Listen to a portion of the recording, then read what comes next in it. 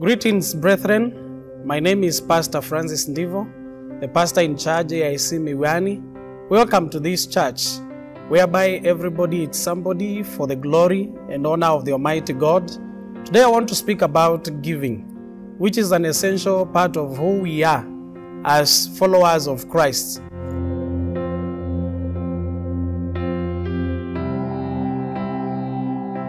And we are going to base our teaching from the book of Matthew, chapter number 25, as from verse 14 through verse 17. And this is what the scriptures say. Again, it will be like a man going on a journey who called his servants and entrusted his wealth to them. To one he gave five bags of gold, to another two bags, and to another one bag, each, each according to ability. Then he went on his journey. The man who had received five bags of gold went at once and put his money to work and gained five more bags. So also the one with two bags of gold gained two more.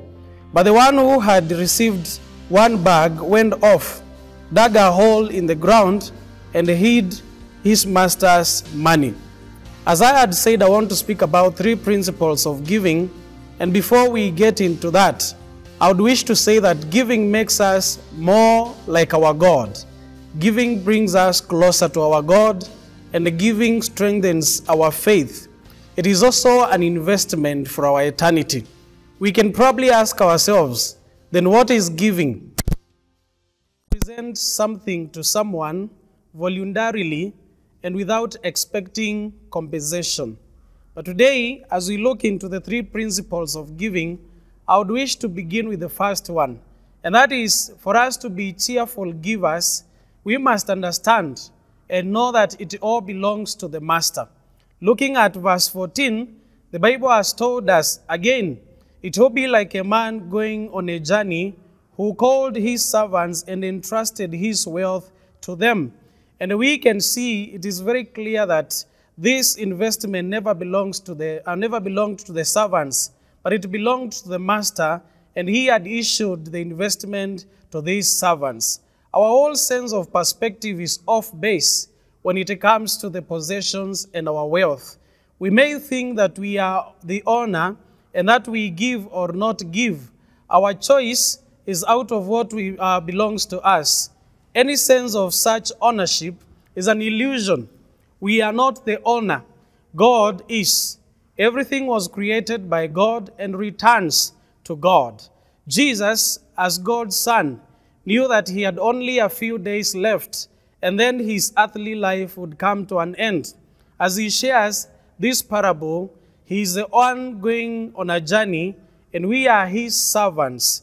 He, God, has entrusted his property to us. We are caretakers and stewards, managers. Everything belongs to the master.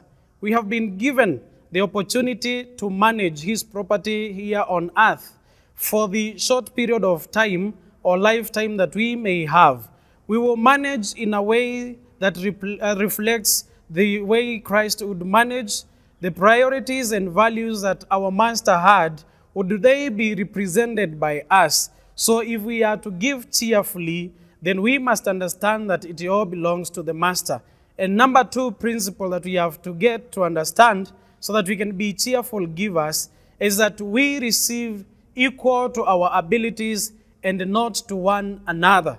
Looking at, at verse 15, the Bible says, To one he gave five bags of gold, to another two bags, and to another one bag, each according to his ability. Then he went on his journey. Then what we see here is that they were given each according to their potentials. Nowhere do we find anything like fairness or equality in the parable.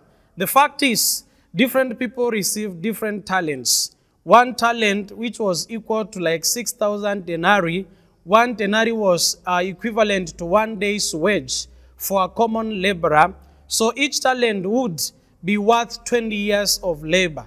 This explains why each person receives a different capacity for the service. What should worry us isn't how much we have received, but what we really are doing with what which we have received. And number three principle if we are to become cheerful givers, then we must understand that we are called to maximize what we have. And therefore, the expectation from our master is that we are sent out to go and maximize what we received. Looking at verse 16 and verse 17, the Bible says, The man who had received five bags of gold went at once and put his money to work and gained five bags more. So also the one with two bags of gold gained two more. But the one who had received one bag went off, dug a hole in the ground, and hid his master's money. What we see here is that there is a sense of urgency for us who are servants and have been called to be followers of our Savior. The servants went at once and put their money at work. They did not even want that as the master returns back, finds that they have not maximized what they had received. And therefore, it could be any day that the master comes back. It could be any time that the master comes back. And therefore, what we need to ask ourselves do we have an objective of growth? The one with five bags brought five more. The one with two bags as well. Uh, through different servants, we are called so that we may understand. Even the second one brought two more uh, uh, uh, in contrast to the one who had one bag. Remember, growth is expected. The first instructions God gave to Adam and Eve was that to go and fill the earth and multiply. Are you growing in your desire of giving for God's kingdom? We may not have the same financial capabilities and abilities or endowment, but growth is expected in everything we are doing for God. Shalom, and may the Lord bless you as you serve in His vineyard. Hallelujah.